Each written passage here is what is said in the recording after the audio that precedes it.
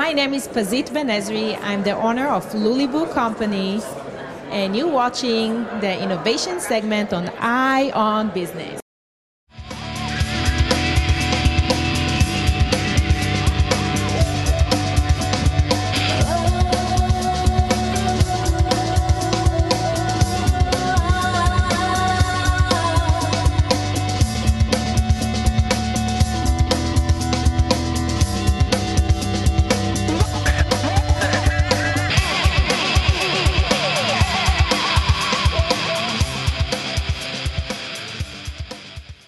Hi, I'm Bret Babos with Rebel Earth Films, and you are watching the innovation segment of Eye on Business.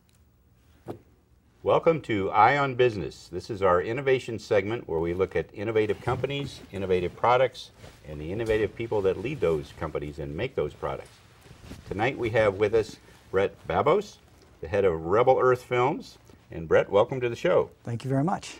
Can you first just tell us a little bit about your background and how you got into the business here? Into the animation business. Yes. I spent uh, 15 years in the animation industry in Hollywood Okay. working for all the big studios.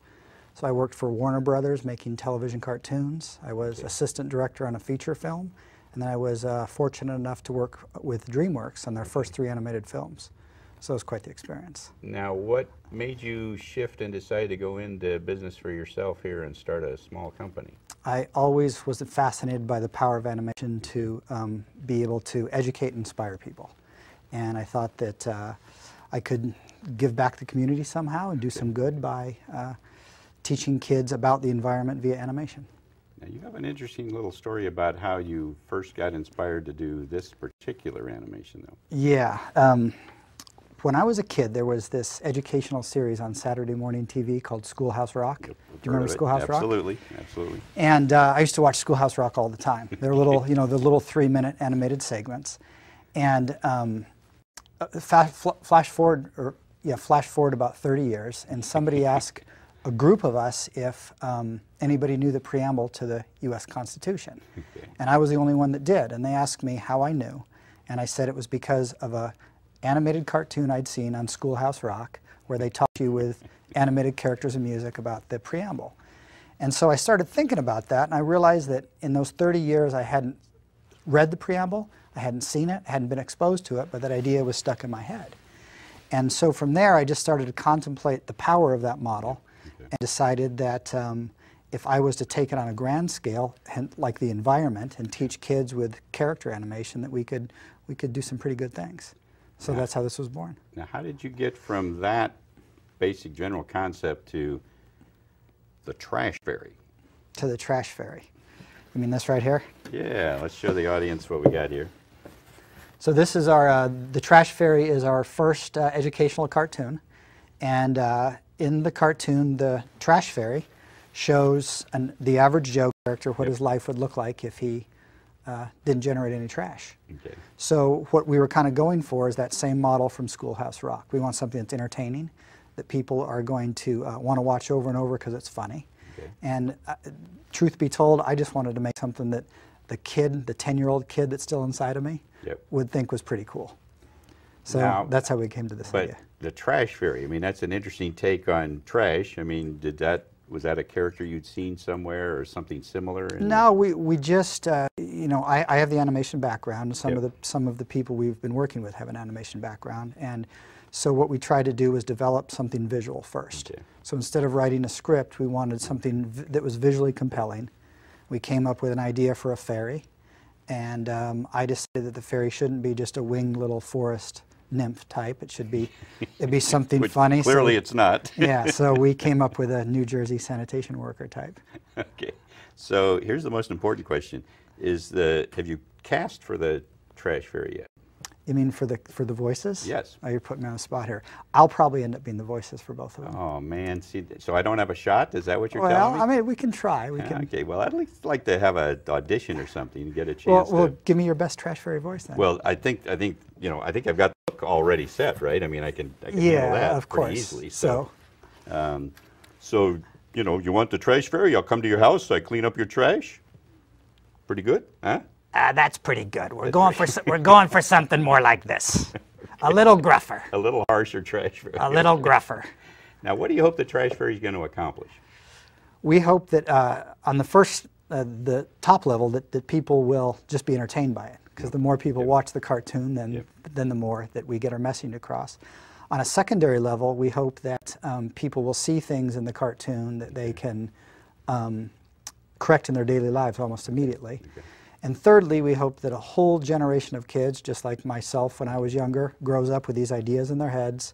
So when they become the next generation of leaders in the country, they can make great change because of our little cartoon. Now, is this just for kids, or what's the audience you're shooting for? No, this is for everybody. So the example here is that uh, my grand or my my father loves The Simpsons, and my nine-year-old nephew loves The Simpsons.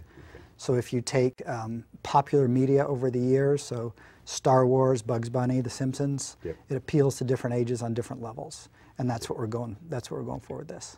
Now, is the Trash Fairy theme, is that, is that the business, or do you envision other characters and other themes? Oh no, it's not the business at all. This is our first. This is our first cartoon. Okay, okay. And uh, I like this character enough that I see a whole series of cartoons with him.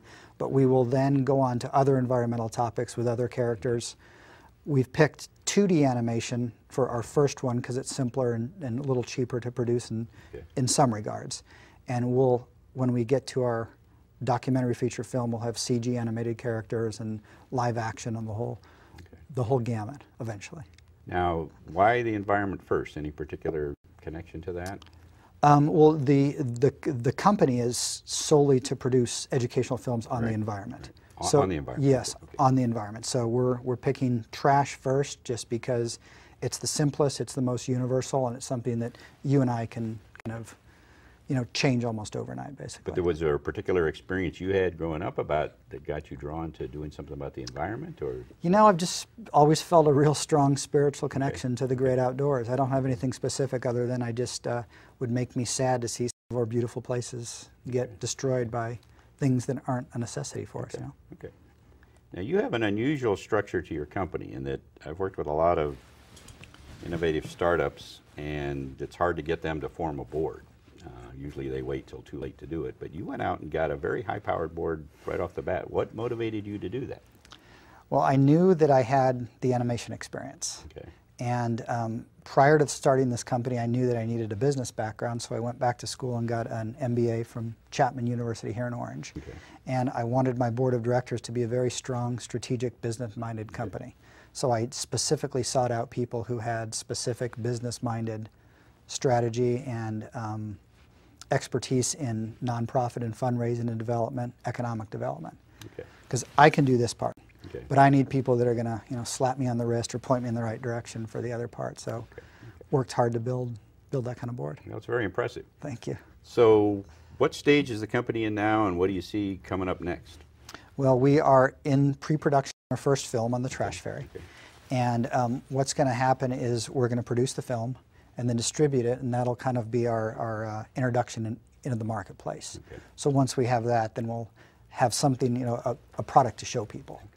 And then from there, we'll approach all sorts of levels of people to get interest to produce a second film, a third film, and then also help distribute this one. Okay. So my limited understanding of the film business is it's all about distribution. So how are you handling that side of it?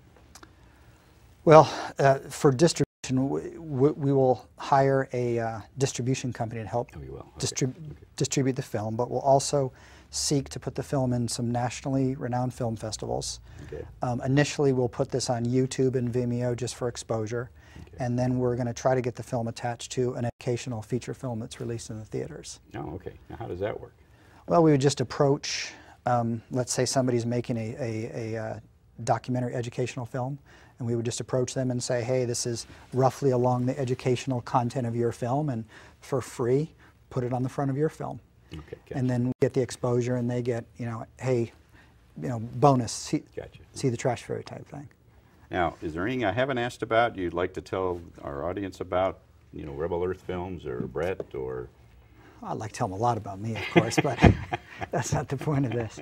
Um, well, you, you can visit our website at www.rebelearthfilms.org to uh, see more about our company and to monitor the uh, production of the Trash Fairy and see more about our upcoming films and projects.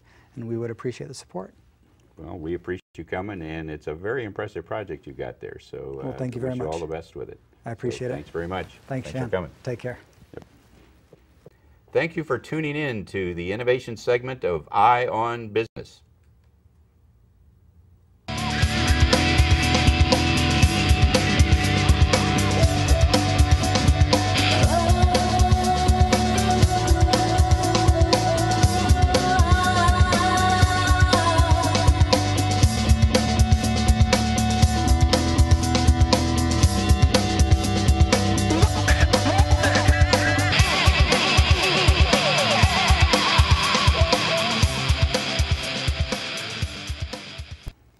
Supposed to say something at the end, but I can't remember what the hell it is. Say goodbye from innovation. Uh, this is, uh, thank you for tuning in to innovation segment of Eye on Business. Close enough? Look at me, look at that. No, I already did that. Do it again and take a breath.